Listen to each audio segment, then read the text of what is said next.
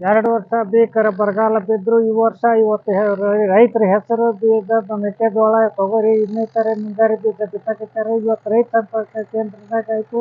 ಇವತ್ತು ಕೊಪ್ಪಳ ಜಿಲ್ಲೆಯಲ್ಲಿ ಈ ಹೋದ ವರ್ಷಕ್ಕಿಂತ ಈ ವರ್ಷ ಗಗನಕ್ಕೆ ಬೀಜ ರೇಟ್ ಏರೈತಿ. ಬೀಜ ರೇಟ್ ಇವತ್ತು ಈ ಬರಗಾಲ ಇದ್ರೂ ರೈತರು ಬಿತ್ತದಾಗ, ಬೆಳೆದಾಗ ಎರಡು ವರ್ಷ ಬರ ಅನುಭವಿಸಿ ರೈತರು ಇವಾಗ ಕಂಗಾಲಾಗ್ಯಾರ.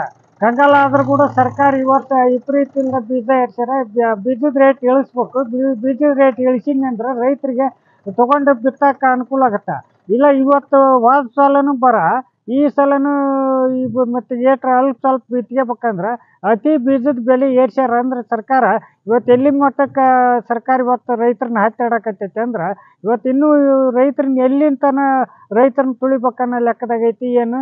ಶೀಘ್ರದಲ್ಲಿ ಸರ್ಕಾರ ಇವತ್ತು ಬೀಜದ ದರ ಇಳಿಸ್ಬೇಕು.